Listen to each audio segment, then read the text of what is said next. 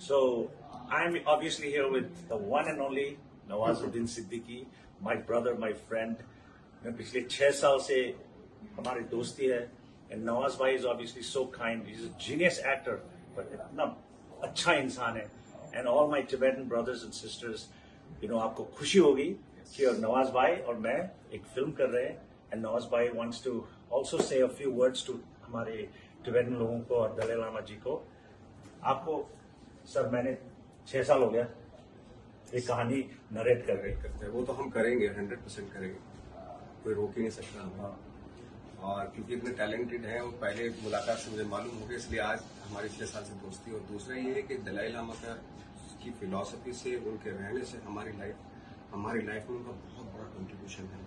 You know उनका रहना ही काफ़ी है। उनकी जो उनकी जो बातें हैं, उनको मैंने अपनाया है। अपनी ज़िंदगी में और आगे भी अपनाता रहूँगा और अभी थोड़ी देर पहले हम लोग बात कर रहे थे little bit little while ago that Nawazuddin Siddiqui and me we are going to Dharamshala one day कभी मुझे मौका मिल दिलवाओगे तो मैं अरे नहीं हम लोग जाएँगे। We are going to go and have an private audience with his holiness and get his blessings but for me, I mean, all my Tibetan fans and brothers all over the world, you guys know I have been working so hard for many years.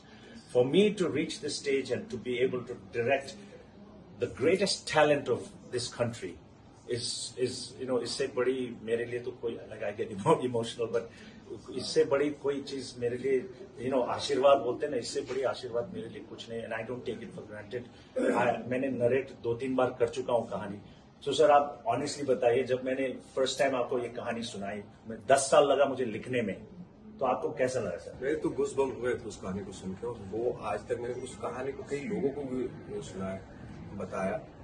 तो मैं तो बस यही चाहता हूँ शैंपन कि जब चाहे आप डायरेक्ट कर लो कोई प्रॉब्लम मैं वेट कर रहा हूँ कब कब कब आप स्टार्ट करेंगे।